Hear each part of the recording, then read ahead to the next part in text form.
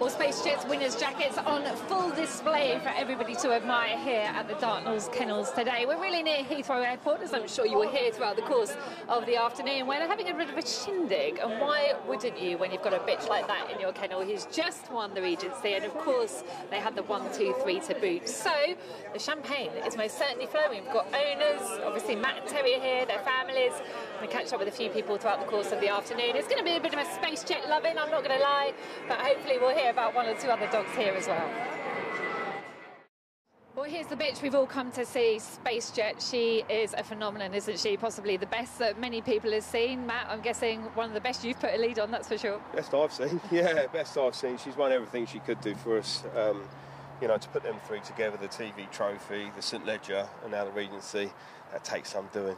And um, yeah, onwards and upwards with her. And the rest, you know, two Dorados in there as well. The first containers marathon. I mean, her CV is unbelievable. She's actually looking at, at Mark Seeley, the kennel hand. She's really got eyes for him, hasn't she?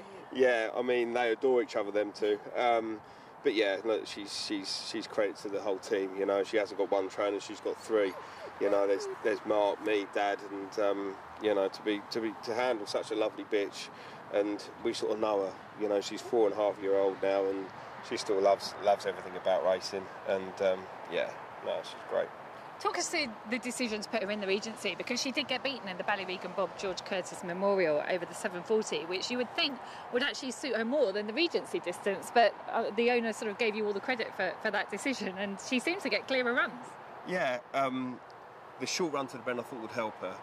Um, when I see a long run to the bend, she sort of backs off and lets them go, and then goes picks them through the field. So I thought a short run to the bend might help her out because she can come out of the boxes. She just hasn't got the early to get get to the bend. Um, and she was turning handy. She turned fifth once. So I was really chuffed with that. um, and then she wasn't dropping herself off so much. Um, down her back straight, she was flying. So, um, you know, Hove's Hove. You still need to stay. That 695 is tough enough.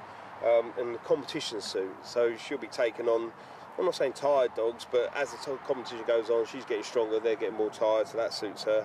Um, and I wasn't going to leave her on her bed. We got her absolutely bang on for the Dorado Marathon, won well. Um, you've got a 20 grand competition on your doorstep. She loves Brighton. Um, a lot of her, a lot of her trials and, and her prep rubbers at Brighton. Um, it's a good, safe galloping track. what she needs.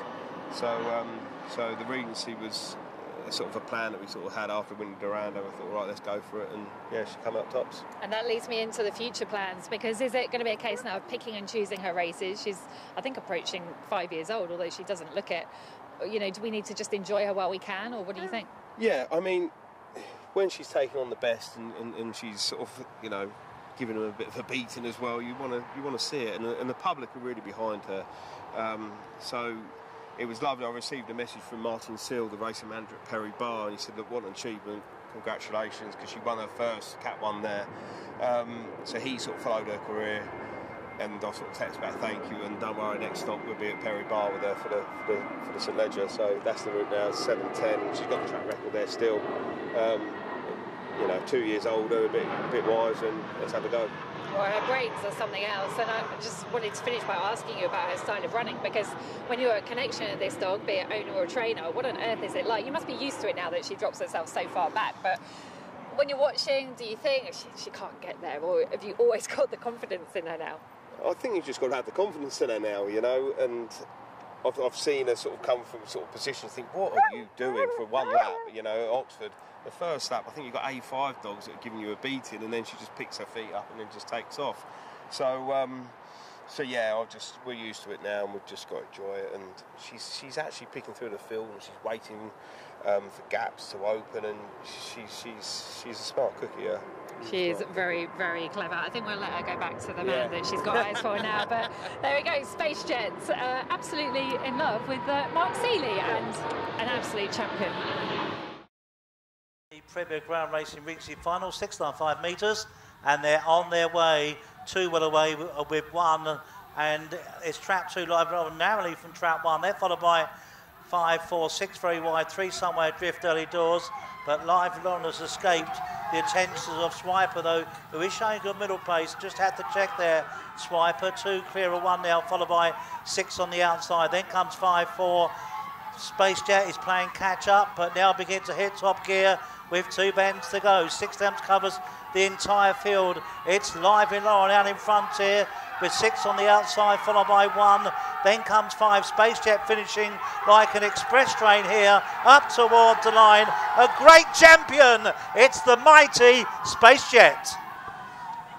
Well, here is your Regency one, two, three. All, of course, trained by Matt Dartnall. We've got Space Jet here uh, posing away, looking fantastic. Lively Lauren and Swiper, who was the runner-up in that final. Uh, let's come to Mark Seeley first of all. I just watched you walk this bitch out from the kennels. I can see admiration, love, a bit of all of it. Everything. I love her to pieces. She's, a, she's done everything. She's done everything. What more can she do? I really don't know, actually. That's what I'm going to ask uh, Matt a little bit later. But it's almost hard to come up with enough superlatives to describe her. But how would you summarise her? Simply the best. That's one, you know, and she's done everything we've asked for her. Dropped down a week ago to win the Regency. She's done it. What more can I say? We've seen all the jackets on display here at the kennel. I mean, her career as a whole has just been phenomenal. Is she the best you've seen? Best I've ever held and tra- you know trained, but Matt's let me do it. I'm so proud of her, so proud. And so you should be. She's amazing. Let's move on to Lively Lauren because Matt, I think it's fair to say this is a very, very good bitch in her own right. Oh yeah, she's she's a cracker. She's made uh, three Cat One finals, only running open races, um, won half her races. Um, so yeah, look, runner up in the Brighton Belle. She loves Brighton. Finished third in the final. Just couldn't get away from them. Um, but yeah, just happy the way she she ran. What are the plans for her now? Uh, she'll go to Monmore now for the Summer Stayers Classic. Um, I've won the race before with a similar type actually, um, Ella Juliet. Um, I think it's going to be some. It's going to be a tough competition. There's a lot of sort of the, the four bend dogs stepping up for the 6:30, um, but just that's the natural sort of progression for her really. 6:30, the distance will suit. Short run to the bend. She's hit and miss the boxes, but look, we'll take a chance. Excellent. We look forward to that. Now the runner-up in the Regency was Swiper, who is here with Charlie, and uh, this Matt tells me is a bit of an upcoming dog. What more can you tell us? Yeah, no, I think he's definitely one for the future. You know, he, he improved with every every run around Brighton sort of made a plan of him to just keep him at Brighton, and yeah, he's done more than more than enough. Do you know what I mean? So yeah, definitely one for the future. Only beaten two lengths by Space Jet. That in itself is something for the CV, isn't it? Yeah, yeah. Well, the, the night he got picked up by Space Jet, the track was bottomless, and I said the, the time wasn't brilliant. Do you know what I mean? But I said that's an forget the time there. That was an underrated run. Only Space Jet would have beat him, and he's. The, the two weeks after that, he just got stronger and stronger, and yeah, yeah. On the night, it was 11 to 1, so he's generally a bit underrated, is he? Yeah, yeah. Well, I said to Matt, I said, I really fancy him because he had, he had his boxing. And if Lauren came away, he, he's, he's getting stronger every week, and he's still, I, I still don't think he's reached his ceiling yet. So, again, the plans? The main aims are St Leger. St Leger next for Swiper. So, there you go. One, two, three. Space Jet, Lively Lauren, and Swiper. What a performance from the Dartnall Kennel in the Regency. I'm joined now by the owner of SpaceJet, Kurn Rushen. I mean, everyone's dream who is watching this would be to own a dog like this. But fair play to you, you've just been telling me the story of how you came to own her. You've, you've got an eye for a dog yourself, you found her. Yeah, I was very lucky to find her on a video. Um, she's one out of ten that was successful. The other nine weren't. And successful being a bit of an understatement. Well, she wasn't picked up by anybody else, and I was lucky enough to pick her up. She is unbelievable. I mean, I, I, just said to you, we're running out of superlatives to say about her. How do you summarise owning a dog like this? Words can't be put into place. Um, I just hope that she's a bitch for the sport. Um, we're, we're very lucky to own her, but it's the kennel that train her. It's uh, they've looked after her fantastically since she's come over, and I just hope people enjoy her before she retires. And fair play to Dartnalls, they placed her well as well because you maybe had odd doubt about the Regency, didn't you? I did, yeah. I had doubts about uh, getting to the first bend safely and keeping up with the other dogs, but they quite rightly and as usual said that uh, she will be fine, and that's it. There's nothing else to say. No, they were right, that's for sure. Uh, how many hot in your mouth moments has she given you in her career? Many. But she's always come through. I think she's won six competitions. She's only raced 31 times. they've looked after her fantastically. And the nature of the way she runs, it's always heart in the mouth. But if that's exciting for everybody, that's good enough. What do you think the future holds? We know she's going for the St Leger next, but do you think there's going to be more competitions on the CV? I don't know. I'll leave it up to them. Um, I'm pretty sure that they know when when she's uh, 100%, and they will be the first to know when she's not. Um, but she's four and a half. Uh, she's had 31 races, but but they're marathon races and they're hard races. And stop it. I'm sorry. You need the bubbles. More alcohol. Um, and so we've got to look after her. I'm sure she'll tell us when she's had enough. What will be very interesting is where the next TV trophy is being run. That's what we need to know. And longer term, are we thinking mini space jets? I don't know about that. Um, it's possible. I would have thought years ago that you don't breed with a marathon runner. Um, and I've always thought that. But as Pat Dalton, who bred her grandmother and her mother, said, the line just speaks to breed. So, but there's no Droopy Sydney's left. Can't go anywhere else. Well, listen, we look forward to whatever the future holds. She's amazing. Well deserved glass of champagne. Uh, enjoy every second that you have with her because she's fantastic. Well done. Thank you. I'll enjoy everything, but I want everybody in Graham Race to enjoy it. I think, I think they do. I think they do. Well That's done. the main thing. Thank you very much. Well, the man who needs no introduction, Terry Dartnall with me now, loving the shirt in this great British weather, but you've got the bubbles and certainly deservedly so. Uh, you must have been loving life since Space Jet won that Regency and actually her whole career. Yeah, bless her. She, she's a bit special. Best I've ever seen. She's the best I've seen in, I suppose, 60 years of racing. 73 now, and it's the best I've ever seen. She's just, she's just as if she's on remote control. Never gets bolt.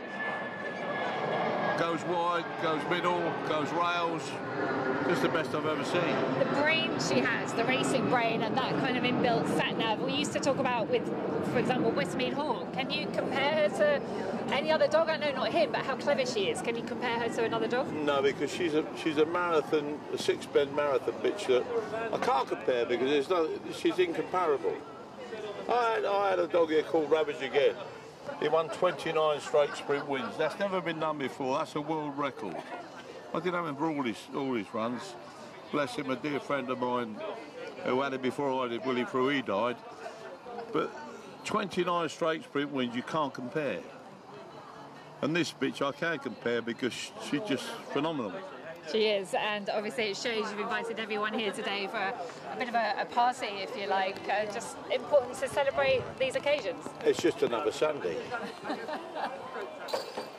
I've never been here on a Sunday like this. The champagne is, is definitely flowing. She's going for the St Leger next, Matt tells us. Yeah, you know, so- what, so, what do you yeah, think of her? She's not four and a half yet, but her age, is, is she doing well for her Listen, age? listen. Many a good tune played on an old fiddle. She's good. If she if she wasn't good enough, we wouldn't go there. If she's good enough, we go there.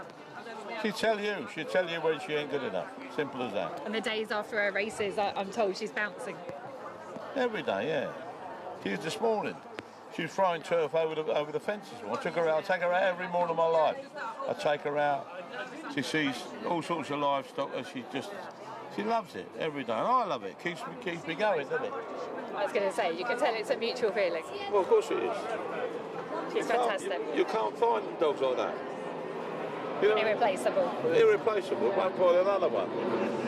What people don't really know, she had a touch of mastitis, this bitch, and it, it was pitiful to see because it's the, the only thing she she had a bit of a tendon at one stage, but she had this mastitis, and it just it knocked her bandy.